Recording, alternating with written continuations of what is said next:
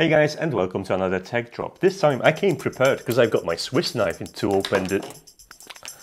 The only time I've got a knife and I came prepared to this video, I can just open it. Ooh. I am saying ooh because this is Sonoff Zigbee Bridge U and U stands for Ultra which is confusing because this is Matter.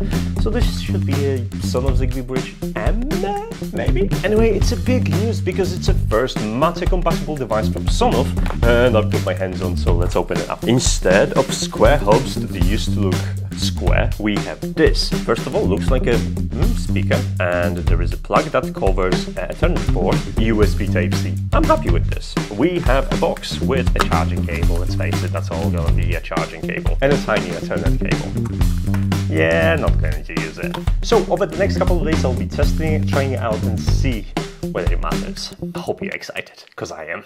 See you then.